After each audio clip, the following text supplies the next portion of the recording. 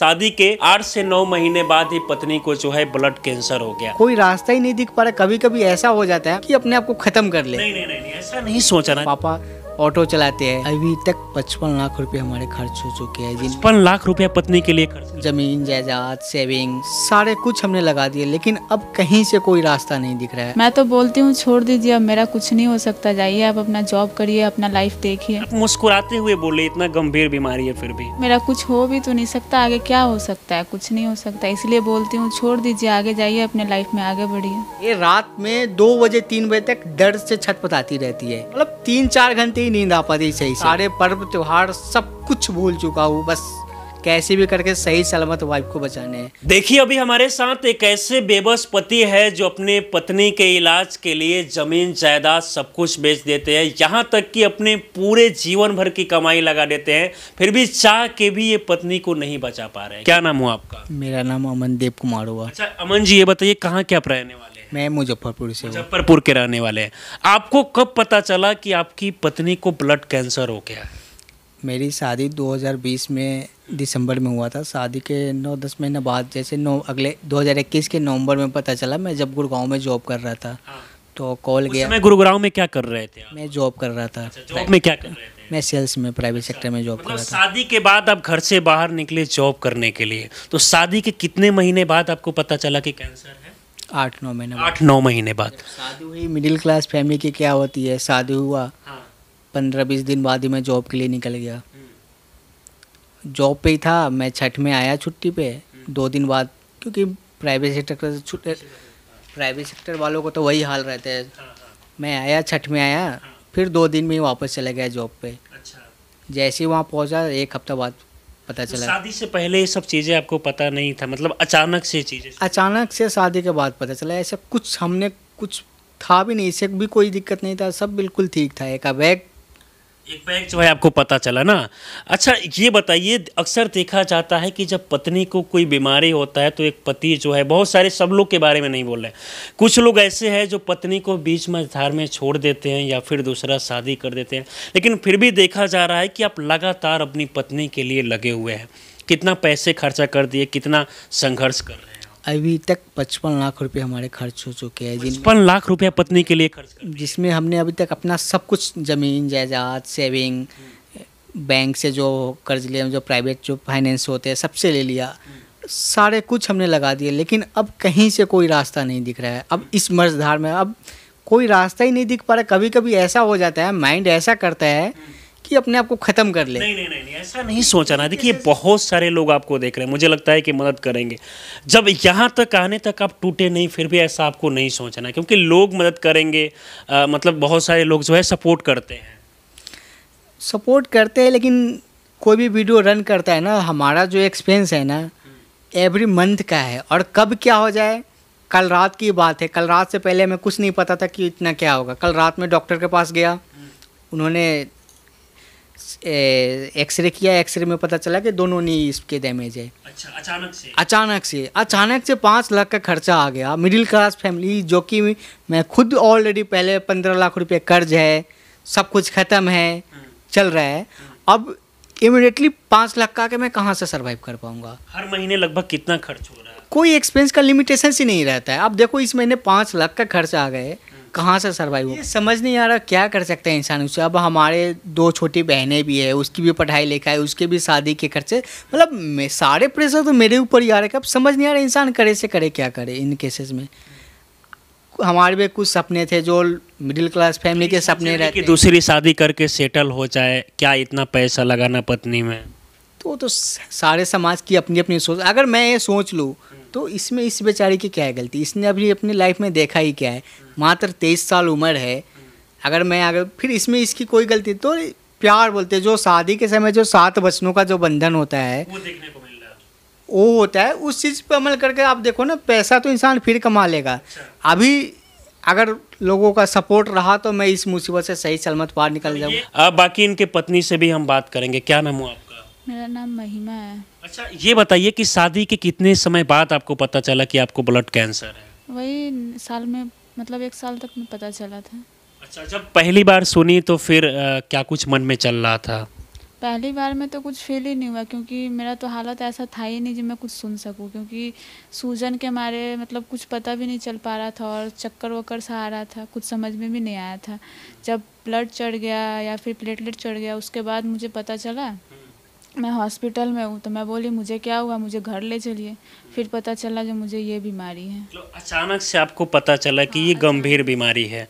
इसके बाद देखा जा रहा है कि अक्सर कोई पति जो है बहुत कम ऐसे पति है जो अपनी पत्नी के इलाज के लिए सारा जॉब कमाई सब कुछ छोड़कर जो है दिन रात आपका सेवा कर रहे हैं। इनके लिए क्या कहना चाहिए? ये तो मेरे लिए बहुत कर रहे हैं। ऐसा आजकल कोई बहुत कम ही मिलता है करने वाला। कभी बोलती भी है कि क्यों हमारे साथ हैं आप जाके जॉब वॉब करिए ऐसा बोलती है कभी? मैं तो बोलती हूँ छोड़ दीजिए अब मेरा कुछ नहीं हो सकता जाइए आप अपना जॉब करिए अपना लाइफ देखिए। मतलब लेकिन पति को ऐसे आप बोलती है कि छोड़ दीजिए मेरे साथ। आप मुस्कुराते हुए बोले इतना गंभीर बीमारी है फिर भी।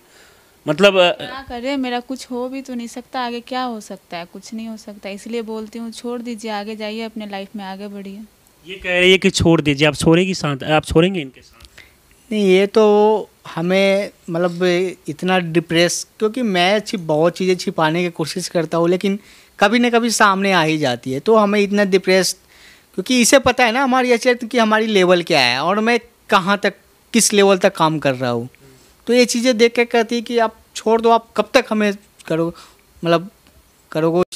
बस यही चीज़ें है। अब वही है सब कुछ देखता हूँ फिर अपने आप को संभालता हूँ कि हमें ही सब कुछ करना है। दो छोटी बहनें भी है फैमिली बैकग्राउंड भी कोई उतना नहीं है पापा ऑटो चलाते हैं। कोई जी आपके ऑटो ऑटो चलाते हैं कोई उतना बड़ा हती नहीं। उन्होंने ऑटो चला के हमें इतना पढ़ाया लिखाया। भगवान की दया से सब कुछ सही चल रहा था लेकिन होने को कुछ और ही मंजूर था। दिन क्या क्या परेशानी होता अभी के समय? कोई मतलब ठीक नहीं रहता है कभी चेस्ट में पेन कभी सिर में पेन मतलब कुछ ना कुछ अलग अलग होते ही रहते हैं। मतलब हमेशा आ, आ, आपके घर के लोग भी आ, सपोर्ट करते हैं हाँ फैमिली में सपोर्ट करते हैं। वो बोलते हैं ना जैसे कि नॉर्मल लोगों की लाइफ क्या होती है? हमारी लाइफ है ये रात में दो बजे तीन बजे तक दर्द से छटपटाती रहती है।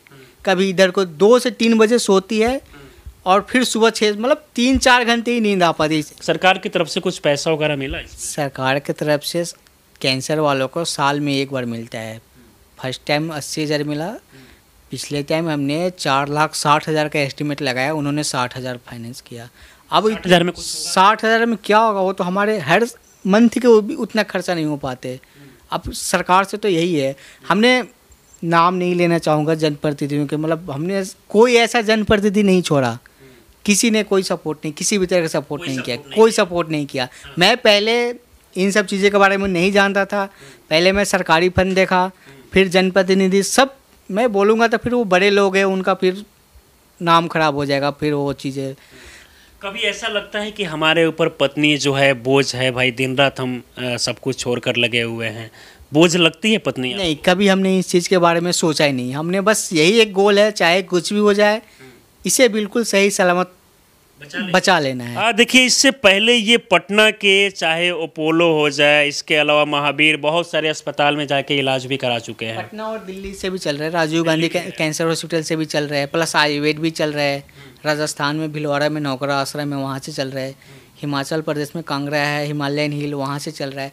मतलब मल्टीपल से चल रहा है प्लस साइड इफ़ेक्ट जब जब आपका शादी हुआ शादी के आठ महीने बाद जब आपकी पत्नी को कैंसर हुआ तो क्या उस समय समाज के लोग भी कुछ कह रहे थे कि भाई ये इसका लक्षण जो है ठीक नहीं है आते कुछ ये सब होने लगा? इस ये चीज़ें भी आपको सुनने ग्रामीण एरिया में ये सब चीज़ें ज़्यादा होते हैं। मैक्सिमम लोगों ने कहा कि छोड़ दो ये करो लेकिन हमारा फ़र्ज़ क्या बनता है? हमारा इन चीज़ों में क्या फ़र्ज़ बनता है कि मतलब अब मेरे द्वारा मतलब मेरे आशा पर ही ना कोई अपना घर छोड़ के आता है। शादी होता है लड़की अपनी पूरी फैमिली को छोड़ के किसके भरोसे आती है? अपने हस्बैंड के भरोसे। अगर मैं ही छोड़ दूँ तो फिर इसका क्या होगा कोई नहीं कोई कोई नहीं सहारा है। क्या लगता है पति आपको बचा लेंगे? हाँ लगता तो है मेहनत करके बचा लेंगे। अब नहीं दिख रहा है कि हम इस मुसीबत से पार लग पाए क्योंकि इधर कहीं से कोई ऑप्शन ही नहीं आ रहा है। अब जो हमारे कर्जदार है वो डेली कॉल करके अभी मैं कॉल दिखाऊँगा पंद्रह से बीस कॉल बराबर आते रहते हैं कि पैसे दो पैसे दो पैसे दो। कितना कर्ज लिए हैं? पंद्रह लाख रुपए कर्ज हो चुके हैं उन लोगों को उधर। अब उधर कर्ज कहाँ से कर्ज चुकाइएगा यही तो अब रास्ता नहीं दिख रहा है ना कैसे हो पाएगा? कोई ऑप्शन नहीं। प्लस बीमारी अभी चरण सीमा पे अभी कॉम्प्लिकेशंस आए मैंने कल रात आप देखो अभी नवरात्रि का टाइम चल रहा है। सारे लोग पूजा पाठ मेला घूमने में लगे हुए अब मैं सब कुछ छोड़ छाड़ के डॉक्टर के चक्कर लगा रहा हूँ। मतलब जैसी जो ढाई तीन साल से जो मैं तो सारे पर्व, त्यौहार सब कुछ भूल चुका हूँ। बस कैसे भी करके सही, सलामत वाइफ को बचाने हैं। हमारे लिए कोई त्यौहार कुछ नहीं, बस इस मुसीबत से निकल जाऊँगा। फिर नया जन्म हो जाएगा। जरा सोचिए कि त्यौहार, पर्व कुछ भी जो है अभी के समय, स्वाभाविक सी बात है क्योंकि इनके पत्नी जो है वो काफ़ी बीमार है।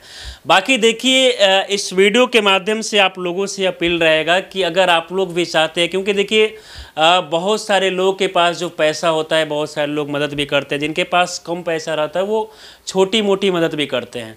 तो अगर आपके एक रुपये से किसी का जान बच सकता है तो वो प्रयास क्यों नहीं आप कर सकते हैं? तो लोग चाहे तो मदद भी कर सकते हैं। लोग चाहे तो अगर थोड़ा थोड़ा भी कंट्रीब्यूशन कर दे ना हमारी इतनी पॉपुलेशन है अगर लोगों से अपील है लोग अगर थोड़ा थोड़ा भी कंट्रीब्यूट कर दे तो हमारी वाइफ की ट्रीटमेंट सही सलामत हो जाएगा। मेरा कंटेक्ट नंबर है eight double zero two eight three seven six seven three आठ डबल ज़ीरो दो आठ तीन सात छः सात तीन इस नंबर पे बात करके किसी भी तरह का डाउट कोई परेशानी भी हुआ आपको अभी तक मतलब इलाज कराने में कोई रोकना वोकना कुछ चीज़ें परेशानी मिडिल क्लास फैमिली की सर सबसे बड़ी इशू फाइनेंशियल इशू आ रहा है। मतलब पैसा कहीं सबसे सबसे बड़ा इशू यही आ रहा है। भगवान की दया से मैं पढ़ा लिखा हूँ डॉक्टर से बात करने में कहीं जाने में इससे कोई दिक्कत नहीं आ रहा। मेन सबसे बड़ा इशू फाइनेंशियल इशू आ रहा है। है सबसे बड़ा इशू आ रहा है। आ, बाकी सरकार को भी कहीं ना कहीं ऐसे लोगों पर ध्यान देने की ज़रूरत है क्योंकि जब वो लोग बीमार होते हैं उनके घर के बच्चे बीविया पत्नी इसके अलावा जो है बहन बीमार होती है तो वो लोग आराम से जाके विदेश में कहीं ना कहीं इलाज करा लेते हैं क्योंकि उनके पास पैसे होते हैं। लेकिन मिडिल क्लास के जो लोग हैं वो पैसे के अभाव में इलाज नहीं कर पाते हैं। तो आप लोगों से एक रिक्वेस्ट रहेगा कि आप लोगों से जितना सहयोग हो सके, इनका मदद कीजिए ताकि ये अपनी पत्नी को जो है वो बचा सके। बाकी इस पूरे वीडियो को देखकर आप लोग क्या सोचते हैं, अपनी राय हमें ज़रूर दें, आप हमारे साथ जुड़े रहें। बहुत बहुत धन्यवाद।